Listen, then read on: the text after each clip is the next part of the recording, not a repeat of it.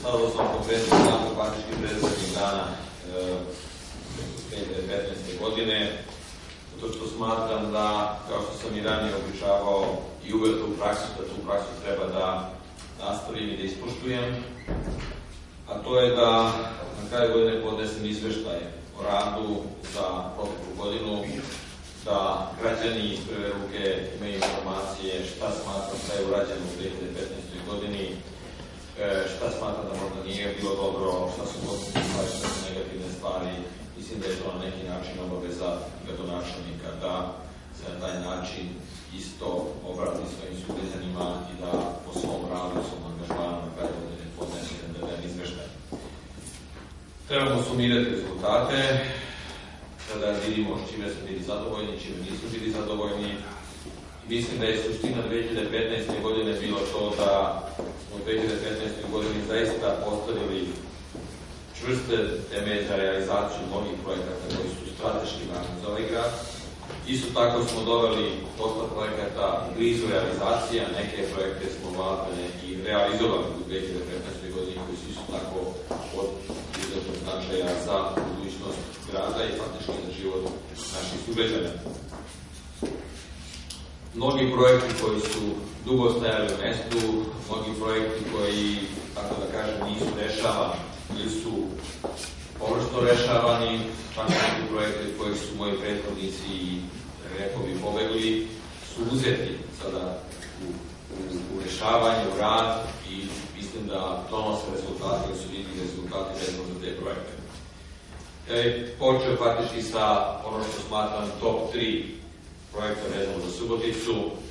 To su pozorište, to je sinagoga i Trepanić. Mislim da su to projekti koji su najviše e, bili u javnosti i projekti koji su dugo godina na neki način opterećivali ovu zajednicu. I moram da kažem da što se tiče pozorišta, vidite da smo u 2015. godini uspeli da probijemo faktički taj okvir koji je bio, bio da je projekat godinama stajao, da se nije pomerao sa mrtve tačke. Jedne strane smo probili na način da smo ponovo ovaj, pokrenuli taj proces. Vi možete sami vidjeti da ponovo žive stubovi grada Subotice koji je jedan od simbola grada Subotice. Obnovili smo stari deo kompletno, s polja i sasvim drugačije izgleda sada da je centar Subotice odnosno na raniji period daleko od toga da smo zadovoljni s time, ali mislim da smo ovaj, taj projekat pomakli sa mrtve tačke. I ono što je isto tako bitno vezano za taj projekat, da smo uspeli da nastavimo realizaciju toga, da nismo stali sa time, uspeli smo da sprovedemo kvalitetnu javnu nabavku, da smo ugovorili posao krajem ove godine u, u oktobru mesecu. Evo teku radovi što se tiče nastavka na zatvaranju i novog dela objekta, vrednost postaje 10-25 miliona dinara i ono što smatram izuzetno značajnim da smo konačno ponovo vratili i Republiku i faktički Ministarstvo kulture, Vlada Republike Srbije da finansira projekat izgradnje Narodnog pozorišta u Subotici. To je, je posebno značaj zato što Republika godinama nije bila učesnik u finansiranju izgradnje e, zgrade pozorišta, a ima ugovor, imamo ugovor u kome faktički Republika pokrajine lokal zajedno finansira ovaj projekt. Mislim da je to, e, da ovaj projekt ide sa zaista dobrom pravcu.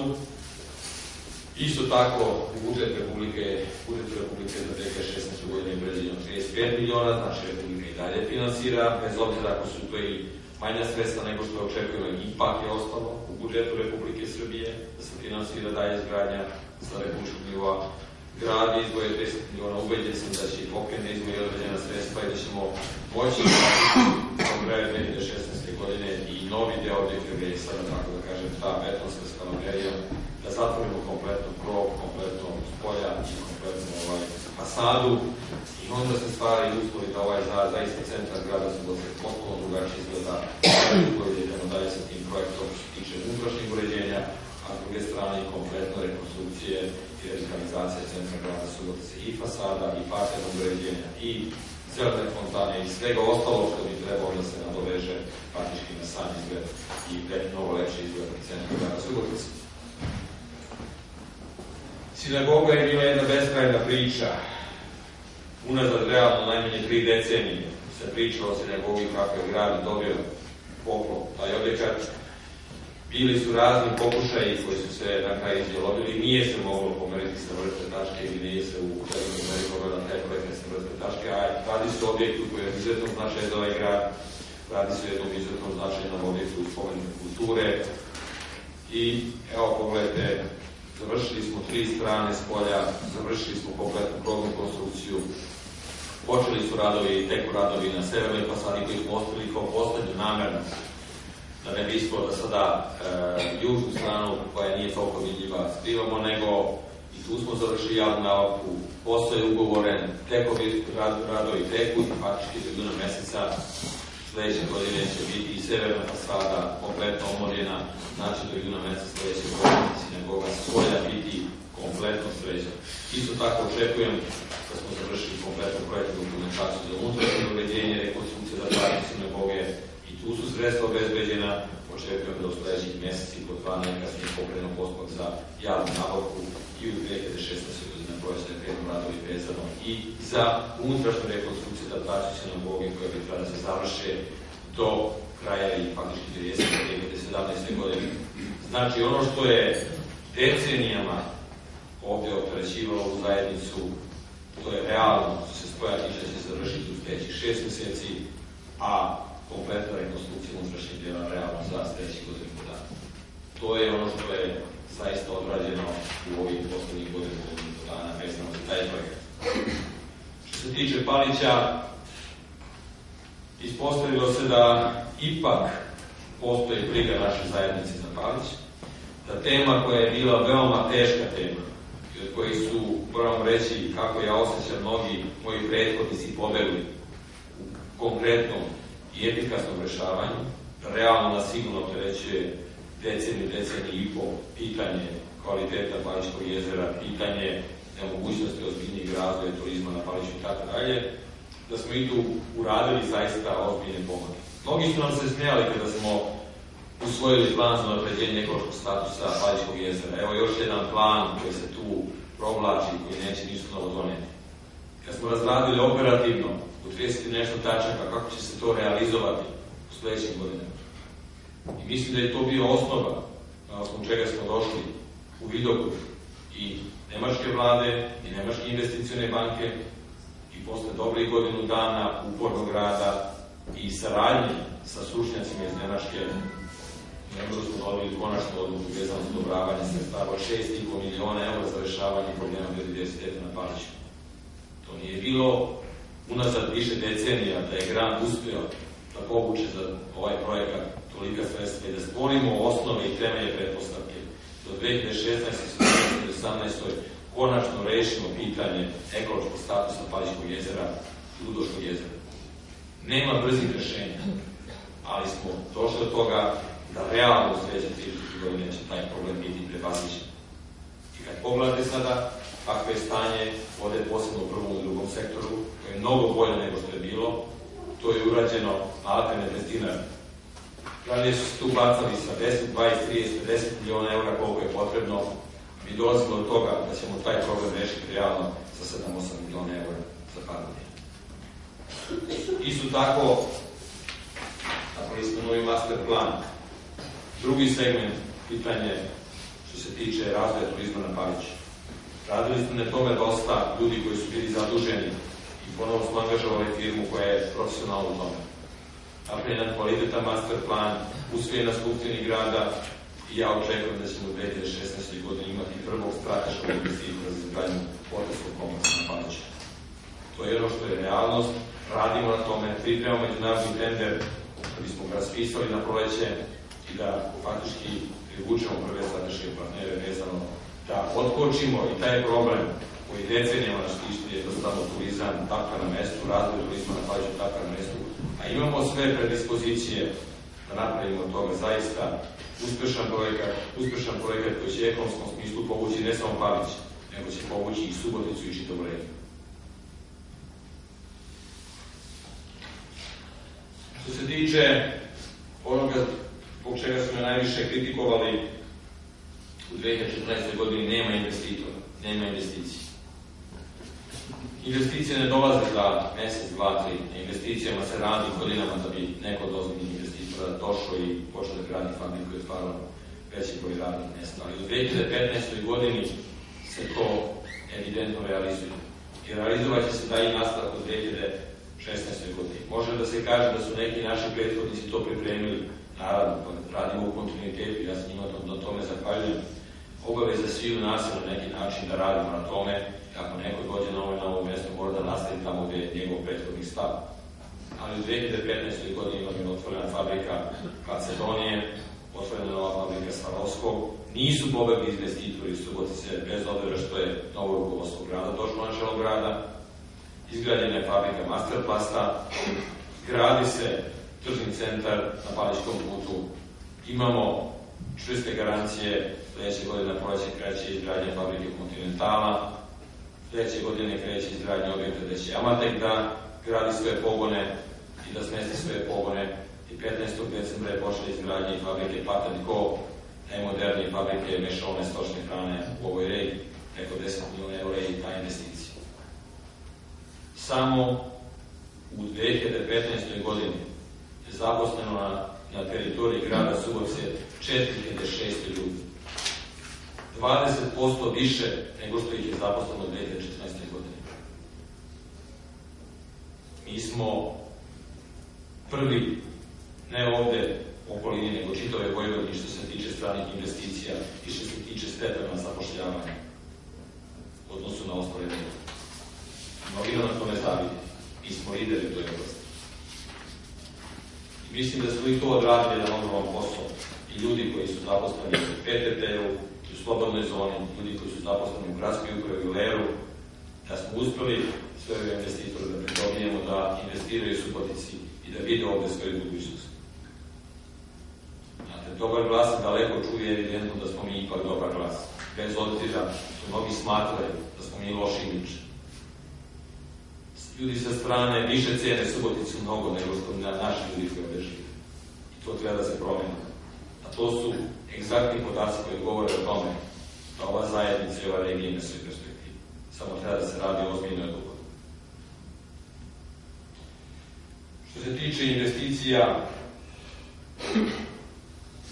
u 2015. godini smo možda napravili najveći pomak u poslednjih isto tako više decenija. Nismo arčili imovinu grada, nismo rasprodavali i zamenjivali poslovne prostore, nismo arčili građevinsko zemljište, nego smo sticali. Sticali smo za sebe i sticali smo za ovaj grad, za buduće generacije koje dolaze u ovom gradu, za našu decu. Grad je kupio imovinu preko 6 miliona eura vrednosti u 2015. godini. Rešili smo pitanje vojne imovine i kupili smo kompleks Zorke blizu 30 hektara zemljišta. Nikada u poslednjih peti decenije u gradu toliko vrednosti imovine nije ovaj grad stekao koliko je stekao u 2015. godini. Možda je to naše sugrađane podelilo, a ja mislim da ako mislimo na svoju budućnost, onda moramo sticati imovinu koja će predstavljati zavod za budućnost. Biće to veliki izazov za nas, ja sam to svesna svega toga. Bilo bi najlakše da smo se pravili toše, da se kažemo šta nas interesuje dom vojske, nije naše, to je vojna imovina, neka je rešava vojska, ali bi propadala i rušila bi se ovdje u samom centru Subotice pred našim očima. Isto tako, vidite kako izgleda i prva kasarna posle 7-8 godina kada kako je ne koriste. Mogli smo i to da pogledamo kako će se taj kompleks rušiti i da ništa ne preduzimo. Nije naša nadležnost. Ali mislim da je ta odgovornost i taj izazov da mi uzmemo te, te stvari u svoje ruke i da zaista nešto uradimo sa, sa tom imovinom koja je veoma vredna imovina u gradu, na veoma atraktivnim lokacijama i ako budemo i ovo sposobni, onda ta imovina možda donosi i budućim generacijama možda donosi ogromne benefite. Mislim da je to suština zašto smo ušli investicije, zašto je grad ušao investiranje u svoju budućnost. Ne samo da tapkamo na mestu i čekamo šta će se desiti za godinu, dve, tri, a ostajemo bez imovine.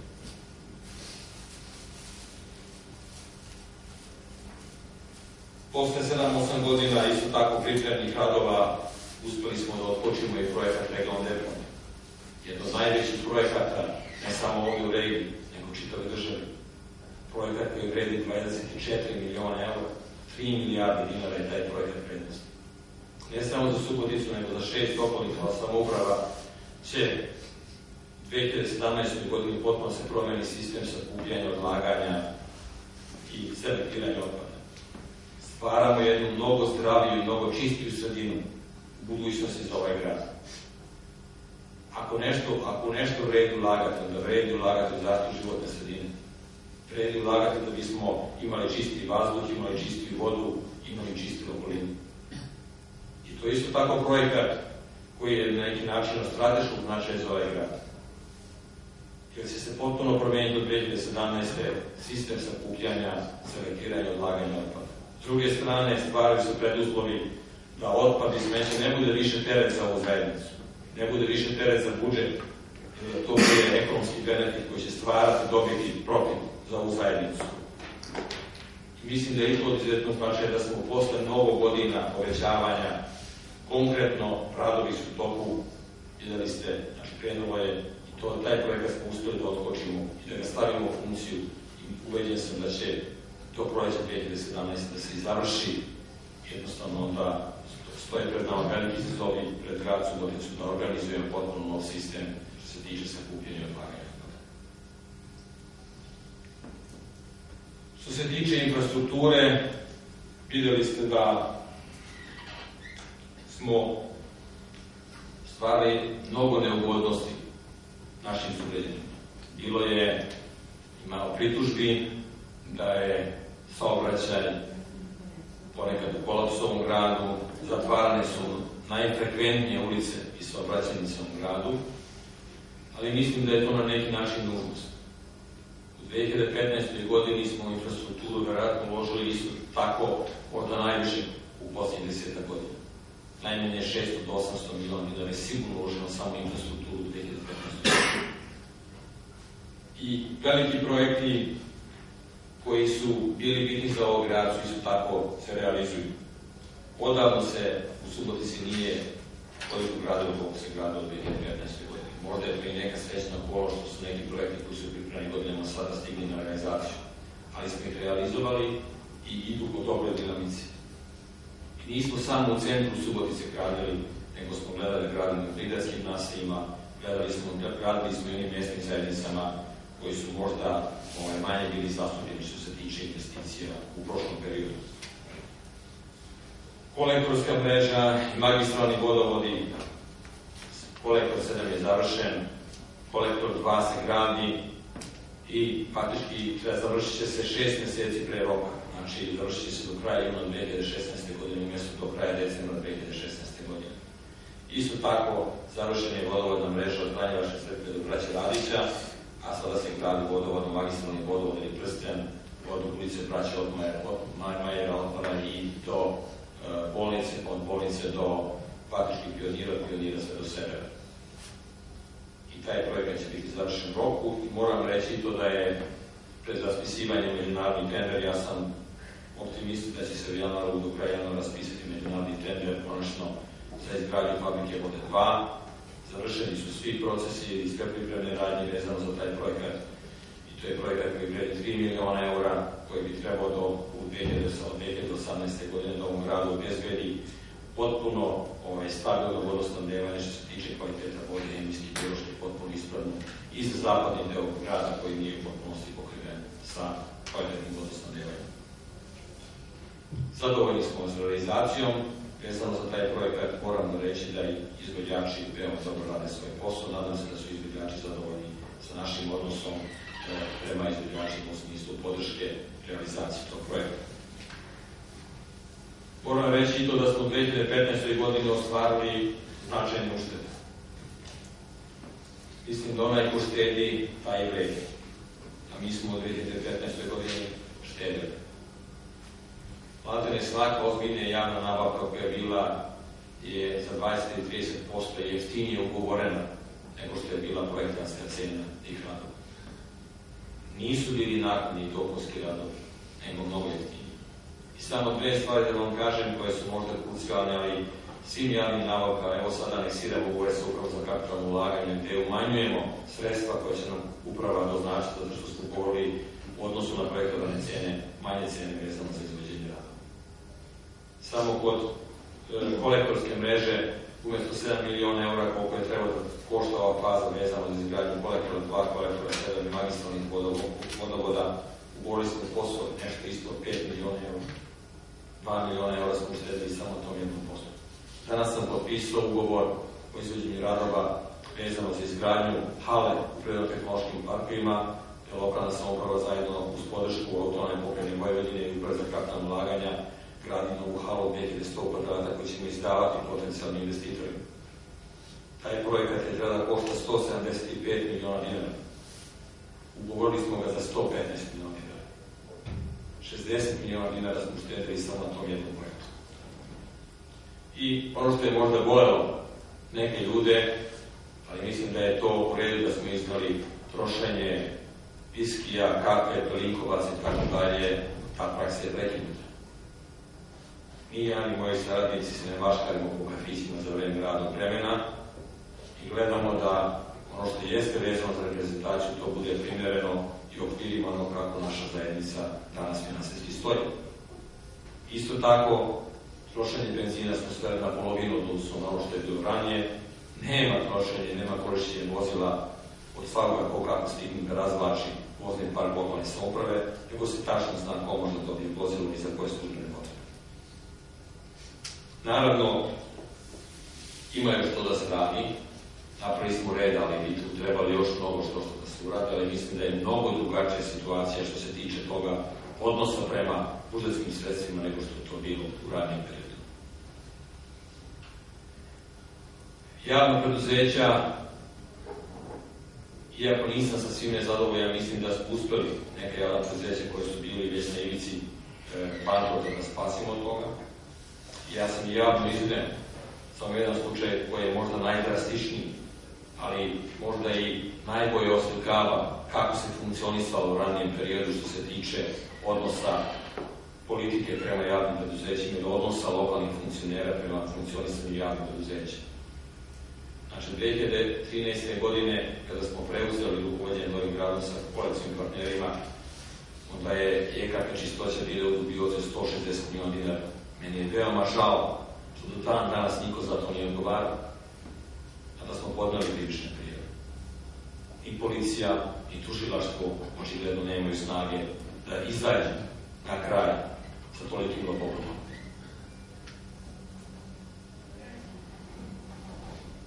to javno preduzeće na kraju 2015. će imati dobit između 80 i 100 miliona dinara.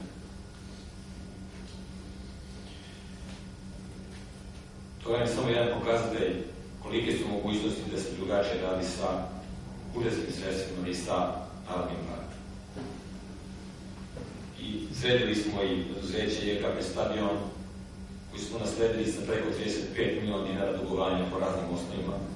Sad su ta dugovanja ispod 10 miliona dinara i izvršene su veoma ozbiljne ulaganje od strane tog preduzeća.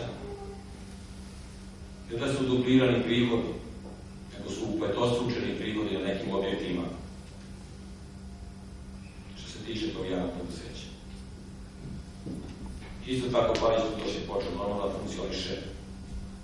Nije više preduzeće koje nema ništa od opreme da bi radio svoju osnovnu struku da štiti ovaj, zaštićena područja, da se brinu zaštićenim područjima. Sljedeći korak će biti formiranje poljočuvarske službe, nadam se u februaru mesecu, pa će ona zaista zaživeti u pravoj meri. I osim toga što imamo naravno problema i treba da se dalje radi intenzivno na sređivanju javnih preduzeća, ja se nadam da će to plana drugačije odnos imati prema svojim kupcima i prema svojim korisnicima usluga da će se tu popraviti malo ozbiljnije, imati pristup i parking i tako dalje, ali mislim da generalno i vodovod očekujemo od vodovoda dalje korake da se sa svojim korisnicima usluga e, taj odnos bude drugačiji, mislim da u generalno gledano je mnogo bolja situacija nego što je bila zatešena krajem 2013. godine. Prvi put smo uradili ozbiljno ovaj, kontrolu i reviziju rada javnih preduzeća, određenih javnih preduzeća, I to je samo dalo do znanja e, svim direktorima da bilo kada mogu da pošljem reviziju da iskontrolišem šta se dešava u tim javnim preduzećima. Mislim da je to dao neke efekte da možda taj odnos prema obvezama je drugačiji nego što je to bio ranije periodu. Moram reći da je na stranu delu bezbednosti urađeno možda ne dovoljno, ali imamo napredak. Videli ste da smo uspeli da se izbojimo kao grad, redko koji je grad sa ovom migrantskom krizom koja je zadesio Suboticu. Druge lokalne samoprave su bile u mnogo težoj situaciji što se tiče nošenja sa, tom, sa, sa tim izazovom. Po Suboticu i samo 2015. godini prošlo preko 100.000 migranata. Najveći deo naših sugrađana nije ni osetio, kako da kažem, taj standard. Držali smo to pod kontrolom, i što se tiče bezbednosti, i što se tiče higijene i svega toga. Bio je ogroman posao i onih ljudi koji su bili zaduženi ispred radne grupe, i onih javnih preduzeća koji su to pratili koji su bili zaduženi na neki način na tome rodili. Imamo iz godine u godinu manji broj prekšaja, imamo iz godine u godinu manji broj krivičnih dela. Daleko od toga da sam još zadovoljan, mada mi kao lokalna samouprava i ja kao gradonačnik nemamo nadležnost nad javnom bezbednošću, ali mislim da će nam to biti u budućnosti isto tako veliki izazov da pomognemo policiji i što se tiče izgradnje sistema videonadzornih kamera i na drugi način kako bismo još popravili bezbednost u ovom gradu.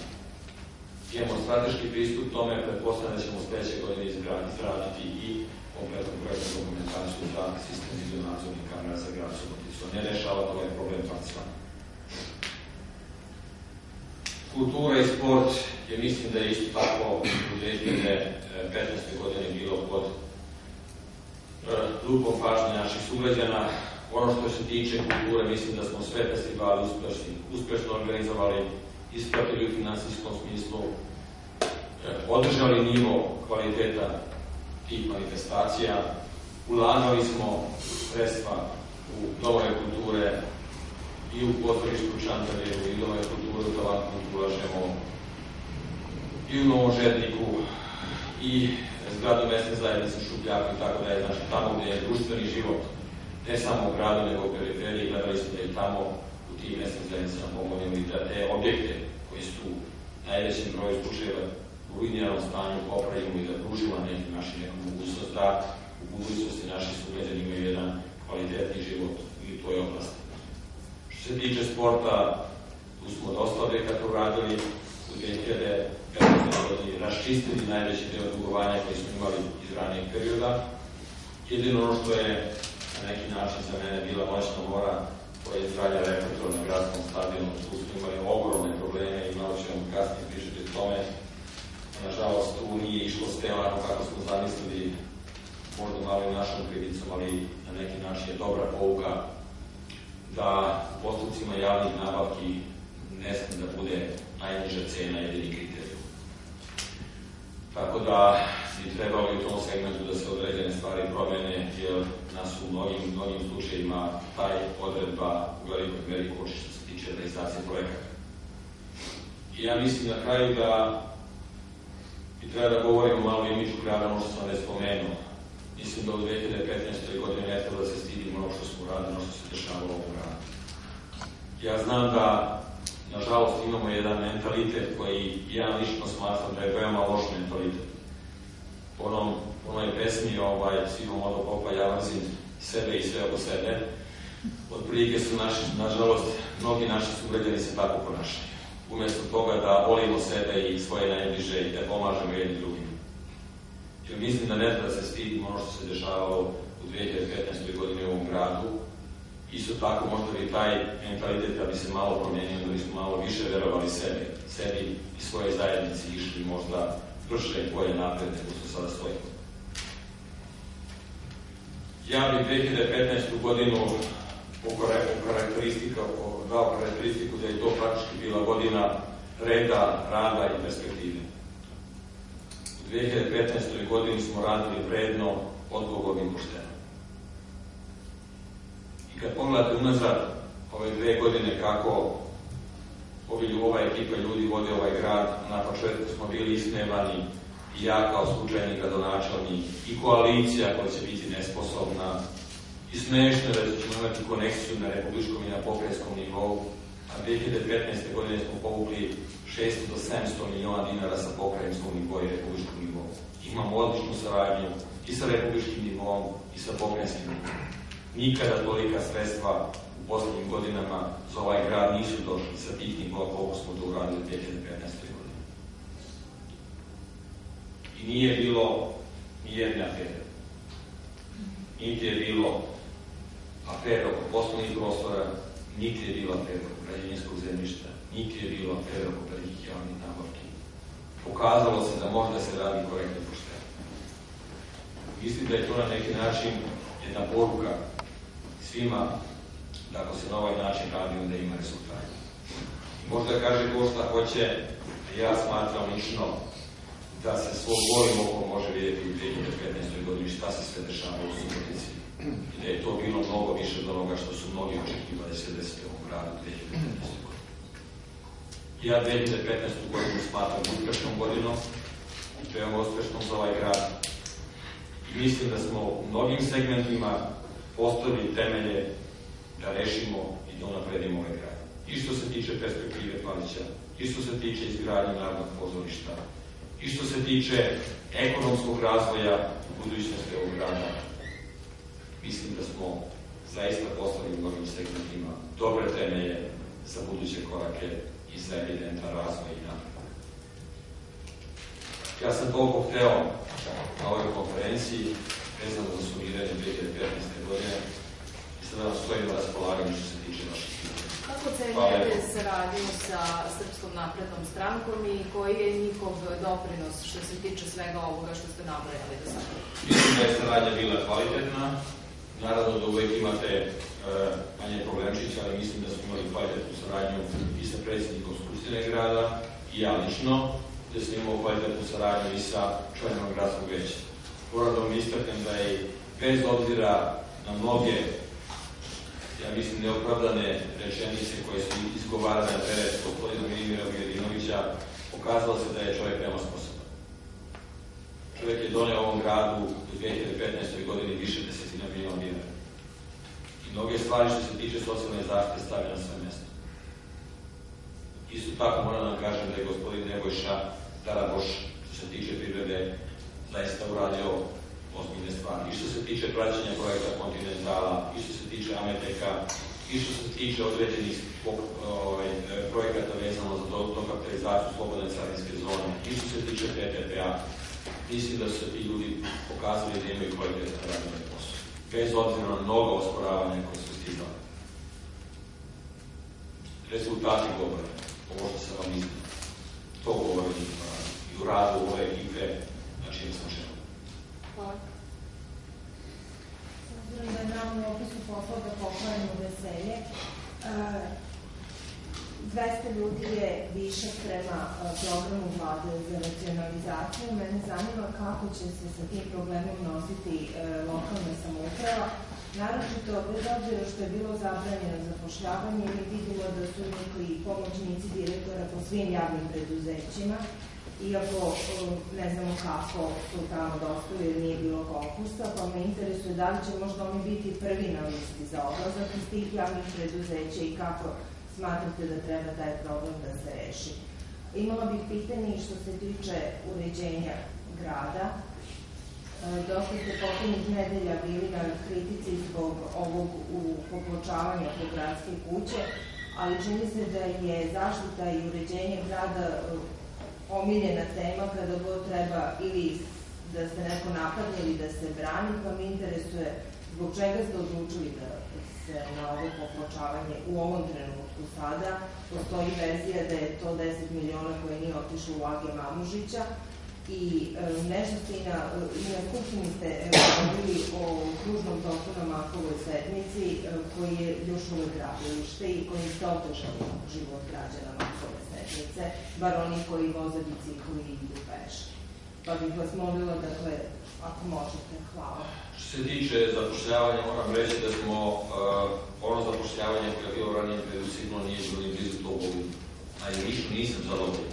Nažalost, vidim i sam da je stranačko zapošljavanje u ono što se kaže ispod žite još uvijek veoma prisutno. Ja nisam potpisivao saglasnost za zapošljavanje pošto ide preko mene, ali direktor imaju mogućnost da zaposle po ugovorima na određeno vreme i tako dalje. Po tim osnovima i vidim sam da u nekim javnim preduzećima su zapošljavanje ljudi. pretpostavljam i imam na neki način saznanje, ne, neredko po stranačkim medijima. To su je pravda potreba procesa rada i tako dalje. Mislim da u tom segmentu još ima mnogo da se radi ovde u Subotici. U čitavoj državi ovde u Subotici. Još uvek je, nažalost, previše prisutno stranačko zapošljavanje, a premalo je prisutno stručno i kvalitetno zapošljavanje mladih ljudi. Oni ljudi koji su ušli u gradsku kuću u proteklom periodu jer su bili ili po stručnim kriterijima da to dovoljno pokazali su se tih nekoliko ljudi koji su primljeni ovaj radili da su zaista opravdali to poverenje koje smo dali. Što se tiče e, investicija vezano za ovaj deo popračavanja u gradskih kuća, ako je to, tako da kažem, hit tema opozicije u Subotu sam ja veoma zadovoljan. Moram reći. To je investicija od 7 miliona dinara, bio je raspisan konkurs i za ovaj deo i za Agema Mušića. Ovaj deo je e, krenuto u izvođenje rada Agema Mušića, znate, zbog e, vanjenja drveta i faktički zbog onih prepreka koji su imali više u tom stručnom smislu se odloži, odložit će se verovatno za januar februar, pa će se tamo krenuti se postaviti. Ja sam nadležni iz direkcije za izgradnju grada samo tražio da ako krenemo sa srednjivan centra, bilo bi dobro da krenemo od gradske kuće i da koristimo materijal koji je, što se tiče današnje ekonomske situacije, prihvatljiv za budžet grada, a sa druge strane ispunjava se one standarde koje, što se tiče odpornosti i kvaliteta. Mogli smo da biramo granit koji košta 40 eura po kvadratnom metru, ili da biramo klinker koji košta 35 eura po kvadratnom metru, ili da biramo ovaj presovani beton koji košta 13 eura po kvadratnom metru. Da smo polagali granit, onda je bio, evo pogledajte kako betonačenik rasipa pare građana, kako se razbacuje suvo zlato se postavlja pored gradske kuće, pored svoj, svojih objekata, a tamo ljudi nemaju ono što kaže asfaltirati S druge strane imali smo i pritisak jer zaista je bilo nužno da je u gradske kuće beton bio je popucao, asfalt je bio popucao, ne na malo mesta je bilo već rupa, čak su se neki sugrađani požalili da srebe da, da na neki način iščaše članak pred gradskom kućom. Tako da iz tog razloga smo se odlučili da to bude nešto što je primereno. Materijal su birali stručnjaci iz direkcije za izgradnju grada uz konsultacije sa Njujorkim zavodom zaštitu pomesta kulture i auto ne vidim loše.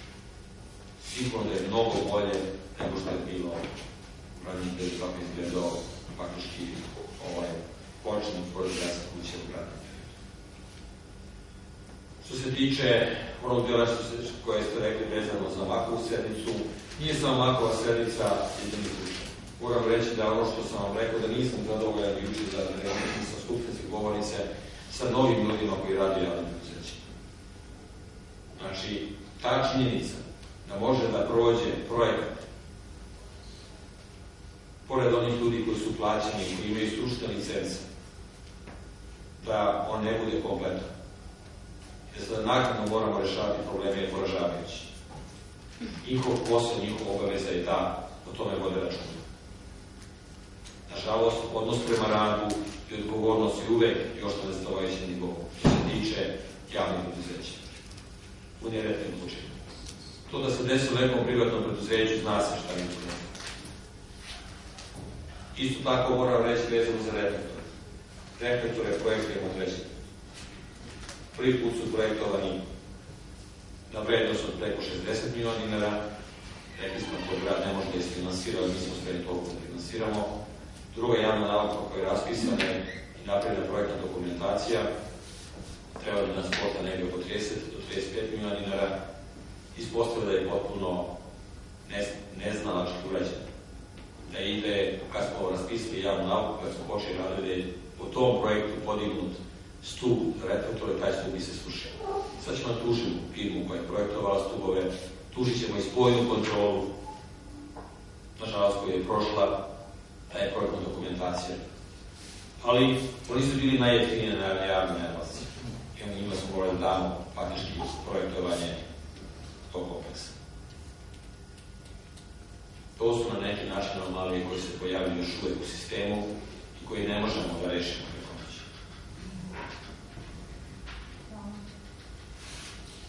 Izvolite, Boris, Slavice. Kako igramo futbol, bolje da ne trebaju reflektori.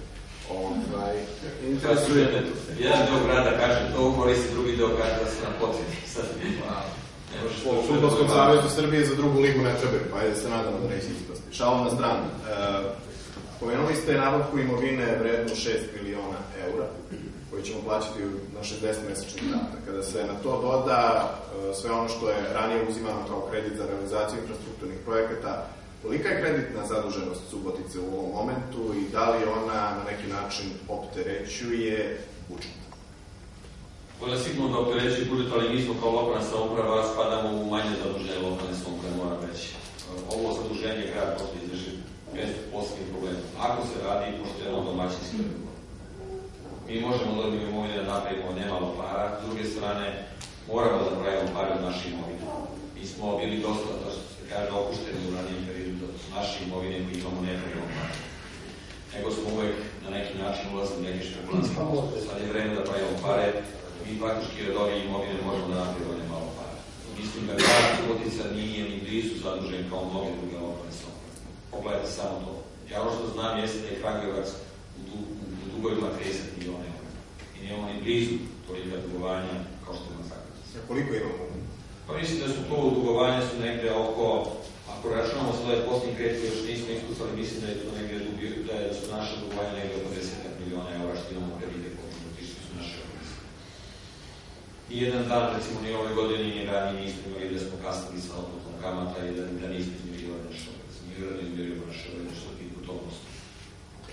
I još jedno pitanje vezano za toplanu koju ste pomenuli. Oni su uputili gradskom veću niz dokumenta koji se vezuju za novi tarifni sistem, samim time i novu cenu. Još uvek nema povratne informacije. Šta se tu dešava? E, Tu ćemo morati da sednemo i da postavimo politički dogovor. Ja sam ubeđen da neće biti političke političkog konsensusa da se i pred izbore, tri mjeseca pred izbore podiže cenu tog plana. To je po meni, mislim da je svima jasno. Strane, treba da svima jasno da bude i to. Da je to plana, ako se ne, ako se ne postupi po uredbi vlade Republike Srbije, ne korigujemo cene po uredbi vlade Republike Srbije, to plana će dve, u, u sezoni 2015-2016 imati gubitak od 110 miliona dinara. Znate, u medijima su najglasniji onih nekoliko računa koji su zaista enormni i sa kojima to plana treba da se bavi. Da vidi zašto je došlo do toga da, ne, da neko bude zadužen za 40-50 dinara za osoban stan što se tiče grejanja. Ali treba da znate i to, da u 2015. godini naši sugrađani su platili manje račune toplane u visini od 120 miliona dinara, između 120 i 130 miliona dinara. To je ostalo u džepovima naših sugrađana. Toliko je toplana manje faktorisala za grejnu sezonu i manje naplatila odnosu na 2014. Oni koji dobiju račune od 500 dinara, 2-3 dinara, oni šute, a njih je jako mnogo. Nego su samo glasni onih nekoliko desetina i možda 50 koji su dobili račune, a to je nažalost problem u sistemu. Da se nije sproveo sistem, da su svi morali biti priključenja na, na, na, ovaj, na toplanu, da moraju biti alokatori u svim stanovima. Tada kad imamo te mešovite situacije, onda dolazi do iskakanja kod nekoliko stanova sa enormnim računima, zato što su komšije svi zavrnuli svoje ventile. Kompletna energija prolazi na dva, tri stana za čitavu zgradu. To je nekorektno iz strane komšije, ali nažalost ljudi su tako. Da li je uredba, čini mi se ministarstva, koja je naložila da se ponovo uvede taj dvotarifni sistem sa fiksnim i variabilnim delom, da li, da li su tu predviđeni neki rokovi da se to mora do kraja godine sprovesti? Ako jesu, da li to ima neke posledice po toplanu i lokalnu samoupravu s obzirom da imamo još dva dana do nove godine? Možda ima postice po, po ovaj lokalnu samoupravu. Uredba kaže ako mi ne sprovedemo tu uredbu, a naše javno preduzeće bude poslovalo sa gubitkom, da taj gubitak moramo nadoknaditi iz budžeta grada. Biće veoma interesantno da subvencionišemo to planu. Jer će onda to da se pojavi ljudi koji koriste gas ili koji kupuju ogrev putem uglje ili drva, da njih subvencionišemo što se tiče njihove cene grejanja. To će biti jedno veoma teško političko pitanje koje će se morati preseći posle proleća, posle izbora lokalnih izbora, prošle sledeće godine. Da to sad znači da do izbora nema ništa, ostaje Ja ne, ne vidim to realno, da će postati skupštinska većina koja će podržati izmenu cena taj, taj, taj, na taj sistem nekada to plana. Hvala. To znači da ćete ostaviti naslednicima da to rešavaju, da tako iskreno. Pa nastavnici će biti slični kao što su sada. Sve sudeći. To očekuje. Tako da samo se odmeđe donošenje odluke jasno.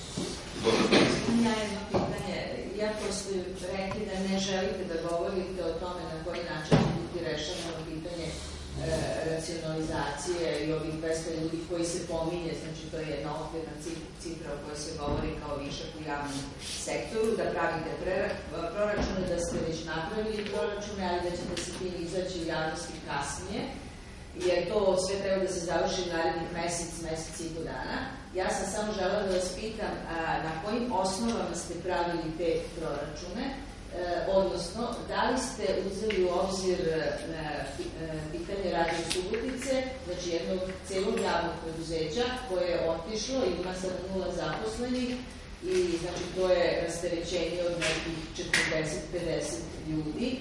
E, da li se na osnovu toga pravi taj proračun koji treba da ode iz javnog sektora u Subotici, jer u tom slučaju, ako se to uzima, odnosno ako se to ne uzima ili uzima, to je jedna petina ste već rešili problema.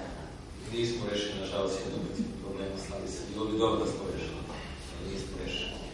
Imamo tačne podatke, ali ne želim da izlazimo u javnosti špekuliše za tim stvarima, tu se radi da ništa sudbina ljudi. Znači, onda kad imamo konkretne podatke, kad zaista stavimo sve na svoje mjesto, onda ima smisla da o tome ozbiljno govorimo pred. Ja ću morati sutra da opravim radnu grupu koja će imati zadatak do 25. januara pripremi predlog vezano za racionalizaciju. Imamo tu raznih varijanta, razne mogućnosti. I zato ne želim da to da prekušemo oko toga u javnosti, mislim da je veoma sedljiva tema. Onda ima smisla da iznosimo e, to pitanje u javnost, ali onda zaista u svojoj težini kad imamo sve na svom mestu. Mislim da će to biti nekaj kraj januara ili početak februara. Dužni od 7. ili 8. februara da usvojimo program racionalizacije, da to uskladimo sa budžetskim razvodima. Mislim da nam to negdje, to će biti jedan veoma, veoma težak zadatak u sledećih mesec dana da to odradimo, jer sa ovakvim izazovom u posljednjih 20 godina se još niko nije uputio koštac. Ovo je dobar sa 30% umanjeni prihodi e, gradova i opština koji možemo da očekujemo kako premostiti taj problem. Ne znam, ja se nadam da, je, da, će, da će doći do, do toga da će se ipak to promijeniti. Ja ne vidim re, realno i racionalno to da se, da se sredstva sa lokala, ovaj, tako da kažem, ispumpavaju prema, prema, prema centrali, prema Mislim da svi suda na lokalu su veliki problemi i da bi trebalo da se zaista prvo osmisli jedan veoma ozbiljan sistem pre nego što se ulazi tako parcijalno ispumpavanje e, sredstava sa lokalnom Ja sam govorio da smo izgubili 2013. 2016. 600 miliona dinara. Ogroman udarac za budžet lokalne samouprave Subotice. Ako budemo, ako se to bude ponovilo u 2017. godini, to znači da smo 3-4 godine izgubili preko milijardu dinara prihoda. Mislim da je to jednostavno, mislim da oni koji donose te odluke i trebalo mnogo ozbiljnije da, da razmisle i da sagledaju posljedice svojih odluka. A da li je to ustavno? To je druga priča, to je sad, da li ustavno nije o tome duže ustavni sud. Da li će neko pokrenuti pitanje ustavnosti tog zakona, pretpostavljam da jeste, da će pokrenuti, onda će ustavni sud morati odlučivati toga da li je skladu sa ustavnim. Sad nas je to zaista poražavajuće da smo mi godinama kao grad ulagali ogromna sredstva u prirodno-tehnološki fond. Godišnji ulazak između 50 i 100 miliona dinara, infrastrukturu, opremanje i tako dalje, i tako dalje. I sad svi oni benefiti koji nam sada stižu, dobar deo tih benefita nas sad Mislim da to nije, nije, nije ni korektno strane centrale da se povlače takvi potezi. Jer na ovaj način oni koji su se trudili i borili, njih kažnjavaju, a oni koji ništa nisu radili, njih nagrađaju.